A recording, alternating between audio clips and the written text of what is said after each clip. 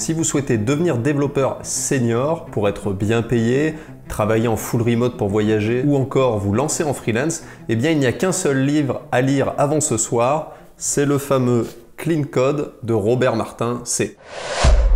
Dans cette vidéo, je vais vous donner les 5 meilleurs conseils que j'ai lus dans le premier chapitre de ce livre et j'ai choisi de ne pas faire une vidéo où je parcours tout le livre parce que je pense que ça serait trop survolé la richesse que vous pouvez trouver dans ce bouquin. Aussi, j'ai choisi de présenter ce livre en premier sur la chaîne, puisque c'est le livre de code qui m'a fait découvrir tous les autres, et à mon avis, si vous souhaitez devenir vraiment bon en tant que développeur, eh bien, il vous faut un peu de littérature sur le sujet, puisque ça va vous permettre de capitaliser sur ce que les anciens développeurs des générations précédentes ont déjà découvert, plutôt que de passer 10, 20 ou 30 ans de votre vie à les redécouvrir par vous-même. Et la leçon numéro 1 du premier chapitre de Clean Code, eh bien c'est la What the fuck door, c'est-à-dire la porte du What the fuck. Donc c'est vraiment dans les premières pages du livre, vous allez tomber sur cette fameuse porte du What the fuck. Quand je suis tombé sur cette illustration, j'ai tout de suite su que j'allais adorer le livre, puisque effectivement au quotidien dans mon travail et sur des projets perso,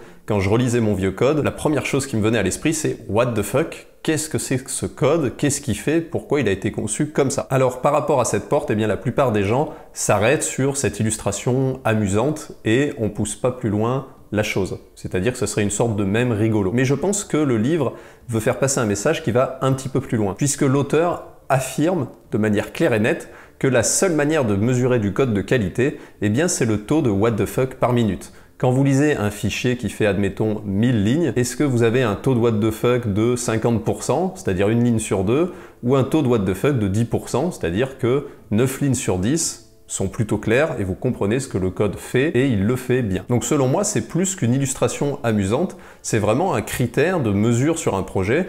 Quelles sont les portions du code sur lesquels les développeurs se cassent la tête et produisent plus de bugs que de résultats. Le seul problème qu'on pourrait reprocher à cette métrique qui est à la fois sérieuse et amusante, c'est qu'elle peut être subjective. C'est-à-dire qu'au moment où j'écris du code qui va devenir du what the fuck code, j'ai toujours l'impression qu'il est clair. C'est-à-dire que la première version d'un code que vous écrivez vous-même, dans les heures, les jours qui suivent, vous avez encore le contexte du code en tête, et donc il vous paraît plutôt acceptable. Donc la métrique du what the fuck code, pour ne pas être seulement humoristique mais un peu sérieuse, eh bien je vous recommande de relire du code dans lequel vous n'avez plus le contexte en tête. Donc relisez le code des autres, faites relire votre code par les autres, ou alors relisez du code que vous avez écrit vous-même mais il y a six mois ou un an. Et vous allez voir que en réalité votre code est pas forcément très clair. C'est à ce moment-là que vous devez faire passer le what the fuck test. Donc une des manières de faire baisser le what the fuck dans votre code, eh bien ça va être des choses assez classiques mais qui fonctionnent très bien. Par exemple, la code review. Avant de livrer le code que vous venez d'écrire avec vous, votre contexte en tête, eh bien faites-le relire par les autres. Peut-être que ça n'est pas si clair que ça. Et donc prenez le feedback des autres comme quelque chose qui a énormément de valeur, même si c'est désagréable, et que vous vous dites, mais enfin c'est très clair ce que j'ai écrit, les gens sont stupides ou quoi. Non, prenez le fait qu'ils n'ont pas votre contexte en tête comme un feedback qui a vraiment une grande qualité pour faire baisser le what the fuck dans votre code. Une autre chose que vous pouvez mettre en place, c'est le peer programming, c'est-à-dire coder à deux. Vous allez vous rendre compte que vous travaillez avec des gens depuis peut-être six mois et que en fait vous fonctionnez pas du tout de la même manière. Et enfin une dernière chose qui m'aide beaucoup, c'est d'être très sérieux sur le nommage. Vous devez construire un nommage qui est consistant, qui est cohérent à travers toute la code base et ça n'est pas forcément évident. Il y a parfois des choses où on a l'impression de manipuler le même concept, mais en fait, en sous-jacent, ça devrait être deux nommages différents. Et enfin, en bonus, une des choses qui m'aide beaucoup à faire baisser le what the fuck dans le code que j'écris, c'est que si j'écris du code en me disant oh là là, je vais avoir l'air intelligent, je vais impressionner les collègues en code review avec ce code, généralement c'est très mauvais signe. Ça veut dire que vous avez écrit du code pour votre ego plutôt que de viser la simplicité pour délivrer de la valeur. Donc quand je ressens cette espèce de sensation de ego code, où j'ai codé un truc, euh, où j'ai l'impression que je vais impressionner la galerie, Généralement, il faut relire votre code et partir sur une approche beaucoup plus simple. Donc la porte du what the fuck est quelque chose de très sérieux, ne la sous-estimez pas. Deuxième leçon que j'ai appris dans ce chapitre, pareil sur les premières pages, qui est super importante, c'est que le code informatique, le fait de coder, c'est pas un petit marché. C'est un marché qui pèse plus de 1000 milliards de dollars et qui est géré par des enfants de 25 ans d'après l'auteur. En effet, depuis 7 ans que je code professionnellement, eh bien les développeurs qui avaient plus de 40 ans et une expérience de au moins une décennie dans l'activité de production logicielle, eh je les compte sur les doigts d'une main. Et effectivement, cette industrie est très étrange puisque le code logiciel est vital pour beaucoup d'entreprises. Donc c'est quelque chose de très sérieux. Le logiciel est partout dans notre société. Et pourtant, c'est développé un peu à la va-vite, à la légère, dans beaucoup d'entreprises, où on va mettre un, deux, trois juniors sur un projet crucial qui a des impacts sur des vrais gens. Imaginez qu'on fasse construire des bâtiments ou des voitures par 4 personnes de 25 ans. Ça semblerait très étrange. Pareil si on cherchait à sortir un nouveau médicament. Et donc l'auteur se pose la question pourquoi il y a aussi peu de développeurs expérimentés dans notre industrie. Et il parle de quelque chose de très important, c'est-à-dire que pour la plupart des gens, le métier de développeur, c'est simplement de venir écrire le code qui marche. C'est-à-dire, on va faire un tour sur la documentation officielle, sur Stack Overflow, on copie-colle des bouts de trucs, et puis quand le compilateur passe et que la fonctionnalité a l'air de marcher, eh bien, on s'arrête là et on livre le code. Mais en réalité, votre vraie mission, ça va être de produire du code qui peut être maintenu pendant des années sur la plupart des produits sur lesquels vous allez intervenir. Votre code, il ne doit pas marcher pour ce soir, il doit être maintenable pour les 10 prochaines années, par exemple. Et cette notion du code jetable, eh bien, on la retrouve très fréquemment. il y a un paquet d'entreprises qui ont des solutions qui existent depuis 20-30 ans, mais dans laquelle la maintenabilité n'a pas été prise au sérieux depuis le départ. Et on se retrouve avec des entreprises qui doivent réécrire de zéro des logiciels qui ont 20 ans d'existence. Donc c'est très risqué pour ces entreprises, ça coûte très cher et parfois il n'aurait pas fallu grand-chose pour sortir de la situation. Mais pour ça, ça demande de l'expérience et donc il faut des développeurs expérimentés. Ce que j'essaye de faire à titre personnel via cette minuscule chaîne YouTube, eh bien c'est de donner envie aux gens de rester dans le code et de donner une vision plus large de notre métier que l'aspect un peu étroit de faire du code qui marche. Donc pour ça, j'ai deux missions, une espèce de mission publique à travers la chaîne YouTube qui est de faire connaître le code professionnel au plus grand nombre de personnes et espérer qu'il y ait plus de gens qui veuillent devenir développeurs. Ça permettra, entre guillemets, d'attirer plus de talents potentiels dans notre industrie. Et puis pour les gens qui codent déjà, leur donner envie de rester dans ce métier, parce que si au bout de 5 ans de développement, mais bien vous passez manager, parce qu'on vous a dit que c'est la suite logique et que vous serez mieux payé, eh bien il n'y a jamais de gens expérimentés qui restent dans le métier du code. Et donc on se retrouve avec une industrie qui, comme l'auteur le dit, pèse 1000 milliards et est gérée par des enfants de 25 ans. La leçon numéro 3 du livre, eh bien c'est qu'est-ce que le code propre? Puisqu'en fait le livre a comme titre Clean Code, et donc il y a quelque part l'arrogance de il y a du code propre, c'est nous qui allons le définir dans le livre, et puis il y a du code sale, c'est les gens qui respectent pas ce qui a écrit dans le livre.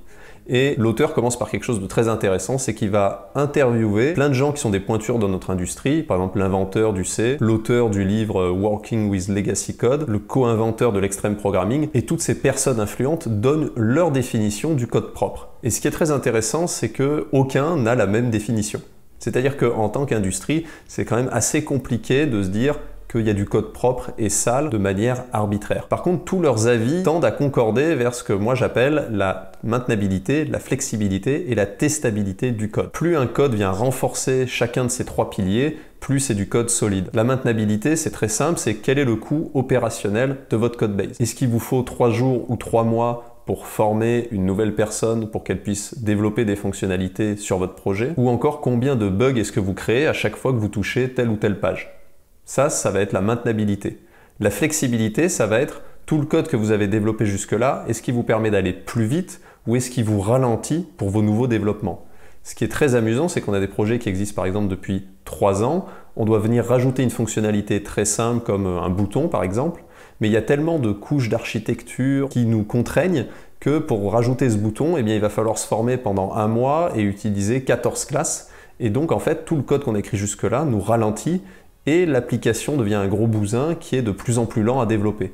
Pourtant, on se dit, on a déjà deux ans de code derrière nous, on aurait dû avoir des outils qui nous permettent d'aller plus vite que si on partait de zéro. Ça, c'est la flexibilité. Et puis enfin, la testabilité, c'est même pas que votre code a des tests unitaires, c'est est-ce que vous pourriez tester votre code facilement? Dans la plupart des cas, le code a trop de coupling, a trop de responsabilités, et pour écrire des tests unitaires sur la page en question, eh bien ça demanderait un travail disproportionné par rapport au gain potentiel. Donc écrire du code en faisant comme si on allait le tester, même si vous n'écrivez pas de test en bout de chaîne, c'est un excellent exercice pour améliorer la qualité du code et tendre vers le fameux clean code. La quatrième leçon, extrêmement importante aussi, et qui encore une fois vient dès les premières pages du livre, ça va être d'optimiser le code non pas pour l'auteur, c'est-à-dire vous quand vous écrivez votre code, mais pour le lecteur. Quand quelqu'un vous explique qu'il va écrire plus vite du code en utilisant des tout petits acronymes ou des lettres à la place de variables qui ont un vrai sens, c'est généralement très mauvais signe pour la simple et bonne raison que 90% de votre temps, vous allez lire du code plutôt qu'en écrire. Et ça, c'est extrêmement important à comprendre.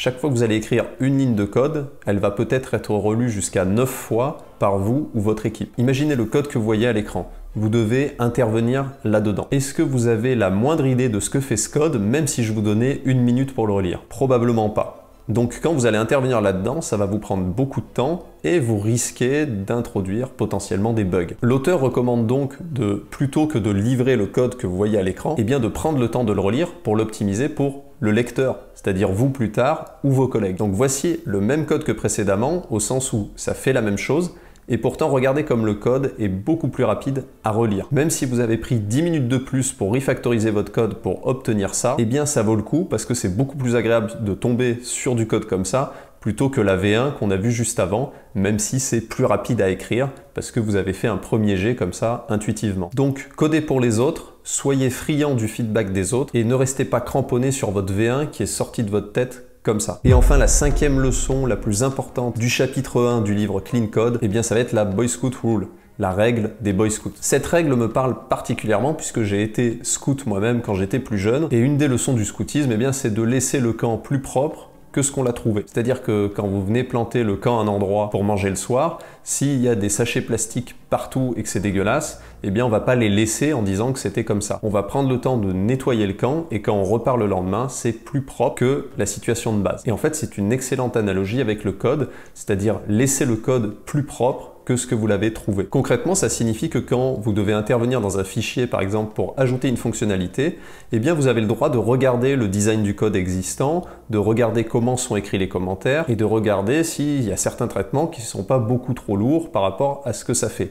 Et vous avez le droit de reprendre ce code si vous êtes amené à interagir avec lui pour implémenter votre fonctionnalité, eh bien donnez-vous le droit de refactoriser un petit bout de méthode, venir corriger un petit commentaire si ça paraît pas trop risqué. Et c'est plus qu'un conseil, c'est vraiment une règle que je vous recommande de suivre, puisque sinon au fur et à mesure de vos développements, au fur et à mesure de la correction de bugs, eh bien le design du code vient petit à petit se désagréger, puisqu'en permanence on est obligé de faire des trade-offs entre la qualité et l'urgence d'une livraison, on est obligé d'intervenir dans une code base qui est potentiellement gigantesque, donc on n'a pas forcément tout le design du code en tête, donc peut-être qu'on va venir introduire une petite maladresse, etc. etc. Donc si vous n'appliquez pas la Boy Scout Rule, ou que vous n'êtes pas dans une équipe à qui ça tient à cœur, eh bien vous allez petit à petit travailler dans une code base qui ressemble au champ dont je parlais tout à l'heure, avec sacs plastiques qui traînent de partout. Vous voulez probablement pas travailler dans une code base comme ça, où tout le monde en a rien à foutre et où c'est de plus en plus sale. Donc comme je vous le disais, c'est plus qu'un conseil ou un truc sympa, c'est vraiment une éthique professionnelle et une culture que vous pouvez construire dans l'équipe dans laquelle vous allez intervenir. Et on retrouve d'ailleurs ce concept dans le refactoring de Martin Fowler, où il recommande effectivement de refactoriser toutes les heures, ce qui revient à appliquer la Boy Scout Rule en permanence comme une éthique de travail. Voilà, c'était les 5 leçons du premier chapitre de Clean Code. J'espère que vous êtes convaincus de la densité de cet ouvrage, puisque simplement pour un premier chapitre, il y a déjà un paquet de pépites à se mettre sous la dent. Donc bien sûr, ce livre va pas faire de vous un développeur senior du jour au lendemain, c'est pas parce qu'on lit un livre sur l'art qu'on devient artiste, mais ça va vous donner des pistes de réflexion où quand vous codez, vous allez vous dire ah effectivement, est-ce que c'est pas le moment d'appliquer tel ou tel conseil qu'il y a dans ce bouquin? Donc même si c'est pas une pilule magique, la lecture de ce livre m'a beaucoup apporté pour progresser en code et je peux que vous recommander de le lire, c'est un classique. Voilà, merci d'avoir pris le temps de m'écouter. J'espère que cette vidéo vous a apporté de la valeur et si vous cherchez à devenir développeur web professionnel, eh bien voici trois manières dont je peux vous aider gratuitement. Premièrement, je publie une vidéo de temps en temps sur cette chaîne YouTube où je partage mon retour d'expérience de développeur avec 7 ans d'expérience. Pas besoin de vous abonner, vous pouvez repasser quand vous en avez Deuxièmement, si le sujet vous intéresse du code professionnel en entreprise, eh vous pouvez interagir avec la chaîne, mettre un pouce bleu, poser vos questions en commentaire. L'objectif, c'est pas de travailler pour l'algorithme, mais c'est de faire connaître la chaîne pour que demain on ait plus de poids si je veux interviewer une pointure dans notre industrie. Par exemple, le fait qu'on soit 40 000 sur la chaîne, je pense, a pu nous aider à interviewer l'ex-CTO de Malte qui a géré une équipe de plus de 100 développeurs avoir le retour d'expérience de ces personnes est extrêmement intéressant, je pense, pour nous en tant que développeurs. Et enfin, si vous êtes intéressé pour aller plus loin et commencer à coder, eh bien, j'ai un workshop sur le site angularsenior.fr où je vous montre en trois soirées de code ce que je pense qu'il faut absolument savoir pour votre premier jour en entreprise si vous avez une mission sur Angular. Ce workshop est pour l'instant accessible librement sur le site. Vous pouvez cliquer sur le lien en description sous la vidéo pour démarrer tout de suite. En tout cas, je vous dis à bientôt pour une prochaine vidéo. Bon code senior d'ici là et à la prochaine. Ciao